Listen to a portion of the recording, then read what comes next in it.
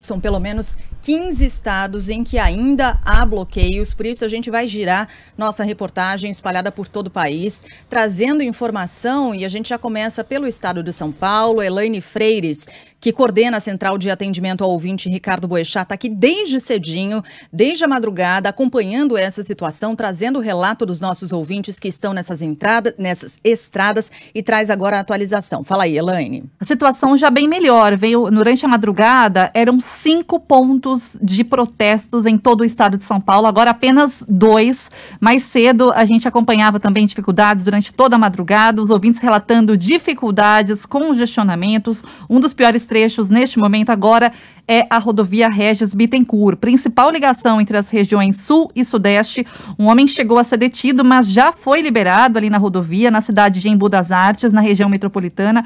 Por quê? Ele estava furando os pneus ali dos caminhões que não quiseram aderir à paralisação mas o que a gente vai acompanhar na rodovia Regis Bittencourt é que essa importante via que liga o sul ao sudeste vai ter ainda congestionamento, porque esses caminhões estão parados lá ainda, ocupando o acostamento, o, veículo, o tráfego para veículos de passeio é liberado agora, mas o que a gente recebe ainda? Muitas reclamações pelas estradas de São Paulo.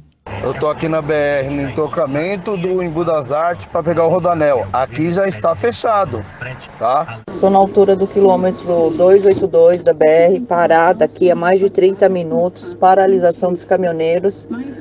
E eles não estão deixando passar nem carro de passeio.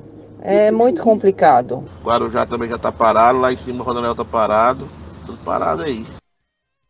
Fernão Dias, agora, 5 quilômetros de filas na cidade de Igarapé, na altura do quilômetro 513, caminho entre uh, o estado de São Paulo, a região ali de Minas Gerais muitas dificuldades ainda por causa deste protesto. Boa notícia agora em relação à rodovia Anhanguera, informação que chega para a gente, pistas já liberadas na altura do quilômetro 148, na região de Limeira, onde havia um bloqueio total. Mais cedo também tivemos uh, protestos ali na Dutra, eram três pontos de atos ali sendo realizados durante toda a madrugada, tudo já liberado de acordo com a concessionária responsável.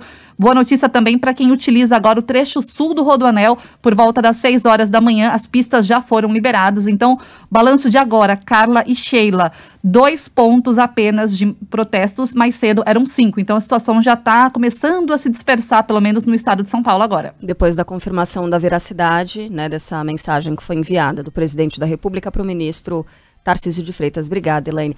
É importante, a gente vai fazer um giro agora e vai mostrar como é que está a condição pelo país, né, desses bloqueios nas rodovias, bloqueios parciais. Em São Paulo já dá para perceber que a coisa está diminuindo. A situação é muito grave, como diz o Megali, mas eu queria chamar a atenção é, do ouvinte que está agora se deslocando, saindo de casa para ir para o trabalho, está ligando e se conectando às notícias agora. A gente tem que trazer todas essas atualizações, é claro, mas não caia nesse terrorismo. Uhum. Calma, que a situação ainda não é de desabastecimento. Não vai correr para posto de combustível achando que vai faltar gasolina, porque ainda não é esse o cenário.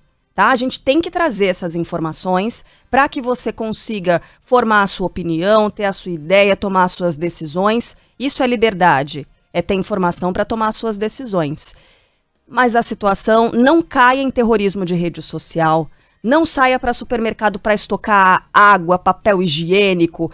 A situação não é essa, tá? A situação não é de desabastecimento. Então, muita calma, né, nessa quinta-feira. Perfeito. As notícias porque... são urgentes, mas calma. Uhum. Até porque a gente já viu acontecer ontem à noite e no começo dessa manhã o seguinte: o pessoal correndo para postos de combustíveis para abastecer e ainda não é o caso. Então houve uma corrida em algumas cidades, houve filas em postos de combustíveis.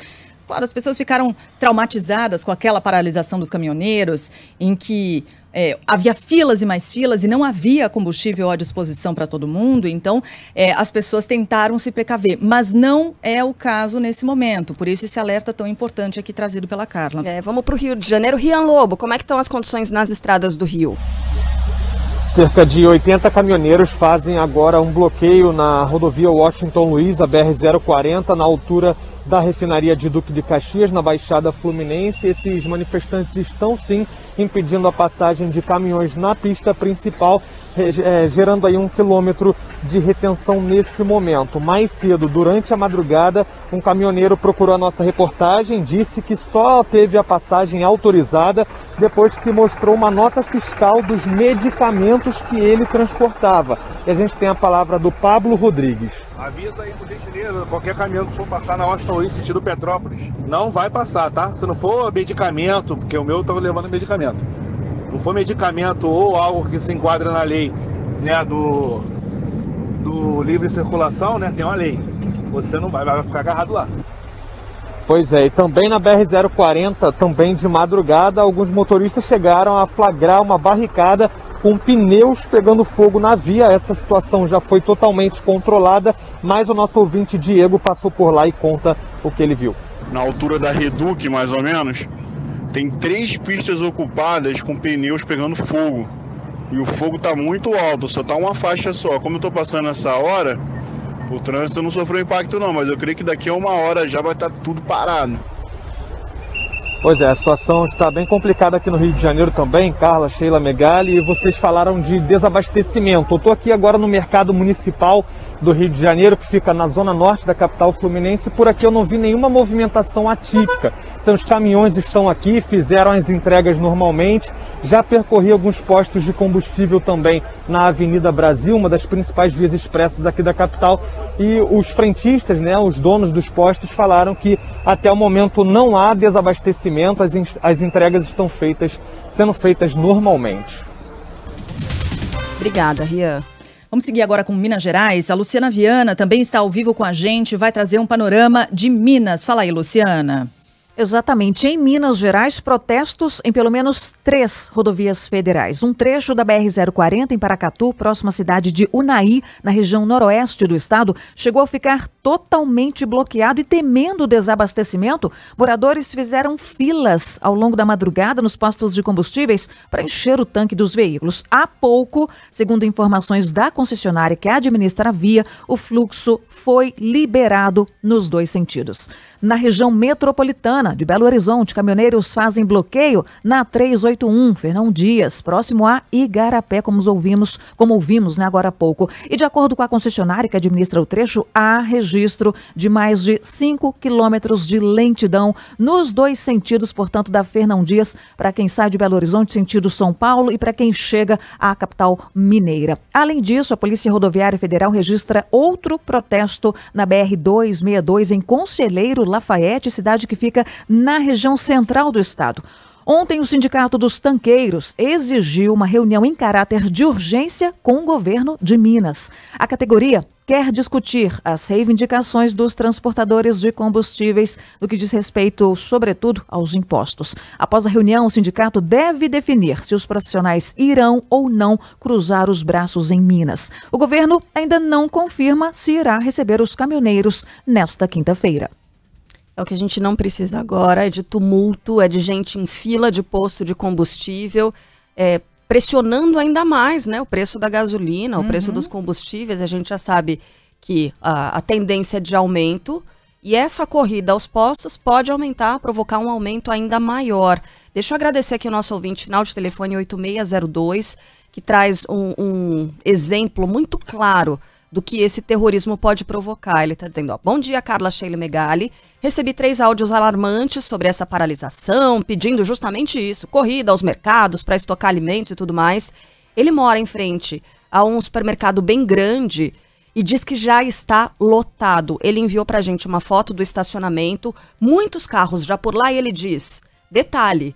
Esse supermercado só abre às 8 horas da manhã. Nossa. Já tem gente se colocando em fila de supermercado para estocar alimento, estocar, sei lá, água, papel higiênico. A gente já viu isso também, inclusive no começo da pandemia, né? Uhum. É, então é, é por isso que é importante tranquilizar as pessoas. Não é o caso. O que a gente tem de informação é de que as manifestações bloqueiam parcialmente algumas rodovias. Depois da divulgação do áudio do presidente da República, elas começam a ser liberadas. É grave o negócio? É grave o que está acontecendo no país. Mas, repetindo, ainda não há risco de desabastecimento, pelo menos em boa parte do país. No sul, né, o movimento foi mais forte, começou mais cedo, ontem, na quarta-feira. A gente tem o destaque chegando com o Emanuel Pierin. Como é que estão as coisas por aí, Emanuel?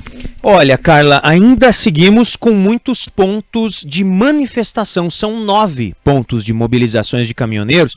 Eles estão concentrados em três trechos da BR-369, nos municípios de Andirá, Santa Mariana e nas imediações também de Londrina.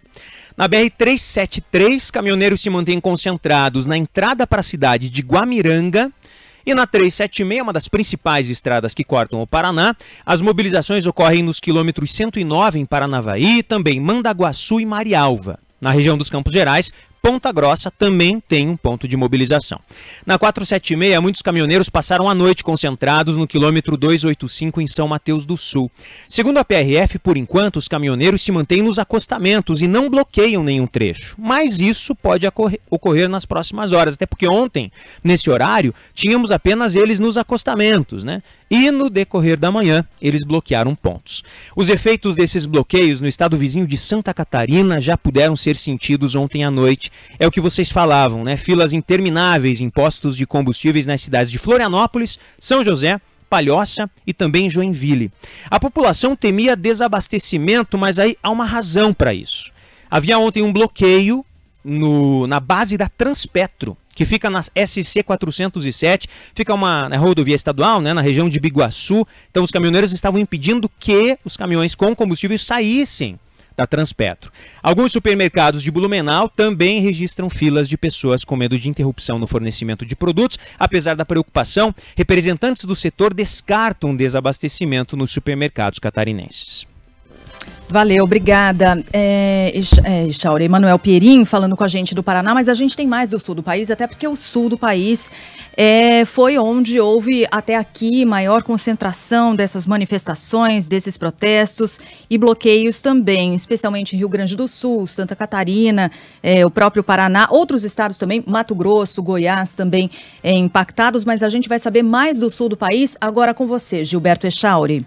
Pois é, Sheila, caminhoneiros estão concentrados agora em ao menos três rodovias estaduais e uma rodovia federal aqui no Rio Grande do Sul. Há bloqueio total nesse momento na BR-153, altura do quilômetro 415, no município de Cachoeira do Sul. Há equipes da Polícia Rodoviária Federal tentando negociar com os manifestantes, mas a informação de momento é essa: bloqueio total naquele ponto da rodovia. Também há registro de protestos nas regiões dos vales do Caí e do Rio Pardo, no centro do estado e também na Serra Gaúcha, mas de acordo com a Polícia Rodoviária Estadual, não há bloqueios neste momento. É, nesses pontos. Em Candelária, no Vale do Rio Pardo, são cerca de 70 manifestantes que estão abordando caminhões na RS 287, altura do quilômetro 138. O objetivo nesses pontos é convocar pessoas para aderir ao movimento apenas e não bloquear o trânsito. E aquilo que vocês falavam, durante a madrugada e também a noite passada, vários postos de gasolina aqui da capital gaúcha, avenidas Protásio Alves, Manuel Elias e também Assis Brasil, e também postos da região metropolitana, registraram muitas filas por receio de falta de combustível, o que acabou não acontecendo no início desta manhã. Olha, tem caminhoneiro mandando mensagem pra gente aqui. Obrigada, é, Gilberto Echauri, pelas informações do Sul. O nosso ouvinte, ele é, é DDD 27, então ele é do Espírito Santo. Ele está dizendo, olha, é, eu estou em Barão de Cocais, em Minas Gerais, e eu preciso seguir para Vitória. Estamos em quatro carretas da mesma empresa e diz: esses criminosos não deixam nenhum caminhão seguir viagem. É o Josimar. Ele é de Cariacica, no Espírito Santo, e está em Barão de Cocais, Minas Gerais, está trabalhando e está super preocupado. Obrigada pela sua mensagem, Josimar, e ela dá um pouco o tom do que é essa manifestação. Outros ouvintes perguntando qual é a pauta de reivindicações. É algo muito difuso, uhum. né? Como a gente disse, trouxe aqui na abertura do jornal, são motoristas de caminhão favoráveis ao governo, e uma dessas pautas passa pelo impeachment do Alexandre de Moraes, acredite ou não é, depois da, do, do, pronunciamento do presidente, ou dos pronunciamentos no, no 7 de setembro, alguns desses caminhoneiros muito mal intencionados, né, pararam ali e impediram a passagem de outros caminhoneiros. Ah, os principais representantes, né, sindicatos e ah, as entidades que representam os caminhoneiros já vieram a público dizer não há nenhuma representatividade, não há ligação dessas entidades com essa paralisação. A pauta não passa pela reivindicação dessas entidades com relação a preço de combustível, a cobrança de imposto, a facilitar a vida do caminhoneiro. Não, não é nada disso. É basicamente uma pauta política. Uhum. É uma pauta política e a gente tem como um dos principais comandantes o tal do Zé Trovão, que segue foragido. Foragido. É, e outra, o... tem um outro elemento aí, rapidinho, Megali Carla, para acrescentar. Uhum. É, numa desses, dessas paralisações, desses bloqueios na rodovia Regis Bittencourt, acontece o seguinte: a pessoa que está negociando com a polícia, e já já a gente também vai falar sobre a importância do trabalho da polícia. Cadê as polícias para liberarem essas estradas, né, nos estados? Mas enfim, tem polícia facilitando? Tem polícia deixando esses caras agirem dessa maneira, impedindo a passagem de quem quer passar, como o caminhoneiro ouvinte nosso que precisa passar e não consegue? que estão sofrendo violência, tem pneu sendo furado por esses manifestantes. É, ontem tacaram pedra em um desses caminhões que tentou passar por um dos bloqueios, mas no caso da Regis Bittencourt, é, o, que, o rapaz que se apresentou como líder ali para negociar com a polícia militar, ele nem caminhoneiro é. Ele saiu de Embu das Artes, que é uma cidade ali às margens da rodovia Regis Bittencourt, região metropolitana de São Paulo, e falou para a reportagem da Band: ele não é caminhoneiro, ele não tem caminhão lá. Então veja o aspecto político que há, sim, nessas manifestações de hoje. Diga, Megali. Não, não manda bala, Sheila. Eu só ia dizer que quando a gente fala que esse é um ato de caminhoneiros simpatizantes de Bolsonaro, dá a impressão que, que é algo espontâneo, né? Que nasceu dos próprios motoristas. E é tudo muito incipiente, a gente não sabe quem é que está manietando, se é que tem alguém manietando esses motoristas, e o quanto de liderança tem esse, essa criatura aí chamada é, é, Zé Trovão, mas é, enquanto os órgãos de imprensa vão se movimentando para descobrir exatamente quem são esses motoristas e quais são as suas motivações, vai ficando claro que o Zé Trovão é um agitador e que quem está por trás desses movimentos são é, empresários, incendiários, é, simpatizantes aí, e, esse sim, do presidente, cada um por sua causa própria. Por exemplo, tá aqui no Globo. Sócio de empresa com caminhões em ato pró-Bolsonaro é diretor de entidade alvo de inquérito do STF. Inquérito aberto por Alexandre de Moraes. É, é, é, repórteres já começam a perceber um certo padrão nos caminhões que pararam primeiro, né? naqueles que iniciaram esse movimento, principalmente lá em Brasília. Eles pertenciam quase todos às mesmas empresas, aos mesmos grupos de empresários que têm os seus interesses muito próprios em paralisar o país e defender a sua maneira destrambelhada o, o presidente Bolsonaro. Né? É, então tem muita gente poderosa por trás desses motoristas que podem estar sendo manietados, podem ter seus interesses também e, e preferências pessoais, mas que podem muito bem, e é esse o desenho que vai se formando, está sendo manietado por gente muito mais poderosa e com interesses muito mais graúdos. Esse empresário que eu disse aí é inclusive de Goiás. É... E é para lá que a gente vai, no Centro-Oeste, conversar com o Rafael Tomazetti. Como é que tá a situação por aí, meu velho? Tem muito caminhão por aí, hein? Bom dia. Bom dia, Megali, Sheila, Carla. Pois é, que nos três estados da região Centro-Oeste a gente ainda tem bloqueios na manhã desta quinta-feira, começando aqui por Goiás, são dois bloqueios em rodovias federais, segundo a Polícia Rodoviária Federal, uh, ambos na BR-153. Um deles, inclusive, foi o primeiro a ser registrado em Tumbiara, na região sul, pertinho da divisa com Minas Gerais, e outro em Porangatu, no norte goiano. Só que ah, os caminhoneiros que estão por lá, segundo a polícia, têm permitido a passagem de caminhões que têm ah, cargas prioritárias ou cargas perecíveis, né, caso de medicamentos também ali, como citaram mais cedo, e também tem permitido a passagem de carros pequenos. Só uma faixa da rodovia que está bloqueada, a outra está Uh, os caminhoneiros estão permitindo a passagem desses carros pequenos e também de caminhões com cargas perecíveis. Bom, também é um bloqueio parcial na rodovia estadual GO 020 aqui na Grande Goiânia, região metropolitana, que liga a capital à Bela Vista. Isso começou ontem por volta das três, quatro horas da tarde. Por lá também a Polícia Rodoviária Estadual negocia para a liberação dos trechos. O sindicato dos caminhoneiros diz que essa manifestação não envolve autônomos e parte inclusive de empresários aqui, portanto, o setor diz que não há é, trabalhadores autônomos fazendo essa manifestação aqui em Goiás, e sim é, somente trabalhadores do esquema seletista. Em Mato Grosso, ainda há bloqueios parciais em três pontos da BR-163, Lucas do Rio Verde, Rondonópolis e Nova Mutum. Na BR-070, em Primavera do Leste, também em Várzea Grande, na Grande Cuiabá, a PRF informou que os manifestantes permitem apenas a passagem também de carros de passeio e caminhões com cargas perecíveis. Na região norte do estado, em Sinop e Sorriso, coisa que a gente não viu aqui em Goiás, mas em Mato Grosso, houve registros de filas quilométricas na noite desta quarta em postos de combustíveis por medo de desabastecimento. Então a gente viu várias cenas ali de carros se enfileirando para tentar abastecer uh, evitar que falte gasolina. Os postos já têm relatado baixo estoque pela grande procura. Essa situação, inclusive, está sendo monitorada pelo Sindicato do Comércio do Petróleo. E finalizando aqui nosso giro pelo Centro-Oeste, em Mato Grosso do Sul, a PRF informou que negocia a liberação da BR-163, que ainda tem bloqueios parciais em São Gabriel do Oeste e Douradina. Trazendo exatamente essa informação que você deu, né, Megali? Não são caminhoneiros é. autônomos, não é quem vai perder dinheiro não. nessa paralisação. Não. São os seletistas, né? O Rafael Tomazetti trouxe essa informação. São contratados por empresas que têm interesses. Interesses é ótimo, né? Que têm interesses. Que, que tem alguma ligação política com tudo que está acontecendo, que tem alguma, algum interesse na saída do ministro Alexandre de Moraes, que coisa. Então é, é, é, é difícil lidar com essa situação, né? Difícil demais porque todo mundo vai pagar essa conta. Uhum. Todos nós vamos pagar essa conta. Quem está parado na estrada, esses seletistas aí que são contratados pelas empresas, eles também vão pagar essa conta quando forem ao mercado comprar alguma coisa e perceber que a inflação está ainda mais pressionada por causa de toda essa instabilidade. Vai cair no bolso de todo mundo, de todos nós. Bahia agora na linha, fala Paloma Moraes.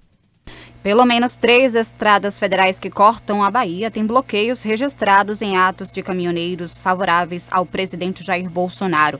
Segundo a Polícia Rodoviária Federal, a situação acontece nas BRs 116, 101 e 349. Veículos com cargas perecíveis, carros de emergência e veículos leves têm passagem autorizada. As manifestações acontecem desde a noite de ontem em vários estados do Brasil, entre eles o Maranhão. O Sindicato dos Caminhoneiros da Bahia Bahia nega participação nas manifestações e afirma que são pequenos grupos ligados a agricultores na região. Em nota, a Associação Nacional dos Transportes de Cargas e Logística manifestou repúdio às paralisações. A entidade diz ainda estar preocupada com as consequências para o abastecimento de estabelecimentos de produção e comércio. Ontem, lembrando aí, né, o presidente Jair Bolsonaro gravou um áudio onde pede aos caminhoneiros que liberem as estradas do país, alegando que a ação atrapalha a economia. É isso, a gente vai agora para o norte do país, tem mais informação chegando com a Samara Souza. Um grupo de caminhoneiros fecha a BR-174 durante o protesto em Roraima.